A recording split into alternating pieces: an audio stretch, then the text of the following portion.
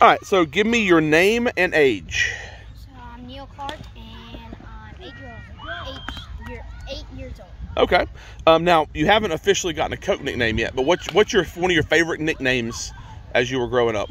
Neil Boogie. Neil Boogie. Okay, I got you. Um, what is your favorite position to play in baseball and why? Catcher because I like catching people. So if like throw a good pitch, it's also pretty good to like be like good job, and you can throw people out if they try to steal. Okay, I like that. Um, you've only been on Coke for a few weeks now, but so far, what is your favorite Coke memory so far? Scavenger. Scavenger hunt. What specifically about the scavenger hunt did you like? I love that we did all the pictures and we were doing like things, and did like funny stuff. And um, one of them was they were acting like I put they were gonna throw me in trash can. it was funny. I got you. Okay. Um, so, Major League Baseball team is going to call. All right, and you get to replace one Major League Baseball player for one game. What player would you, do you think you could best replace for one game, and why? Probably the. This is hard.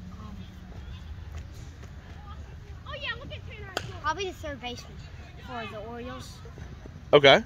and because he's not as good, but he's pretty good, and I would also play for the so, I mean, Okay. Is Orioles your favorite team? No. Okay. Why'd you choose Orioles then? they're one of the worst teams. I gotcha. Fair enough. Um, would you rather lose every regular season game and win the city championship, or would you rather go undefeated and lose in the first round of the playoffs?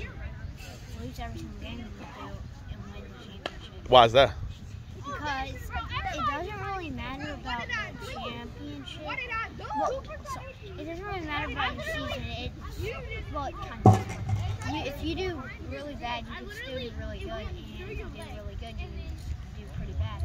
But it's really fun to still play baseball and win city championship. Okay. Um, who encouraged you to start playing baseball? Probably one of my friend Bruce. He like I went friends, and he said, "Have you heard of like? You like baseball?" And I was like, "What's baseball?" And he started to teach me how to throw, and I had really fun after that. And my dad already knew about it. Well, knew baseball. And he didn't know that I knew about it.